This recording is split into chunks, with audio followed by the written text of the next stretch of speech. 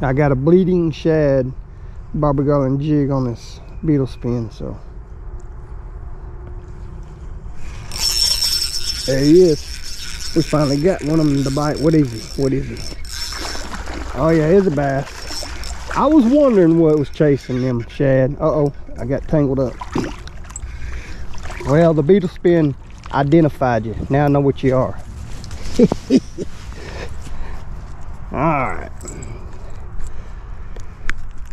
Uh, well, that might be a good reason to go back to the to the uh, jig and bobber because that's probably what I'll end up catching all day is bass because they are definitely chasing them. All them uh, bubbles on the water are where these guys are hitting them shad.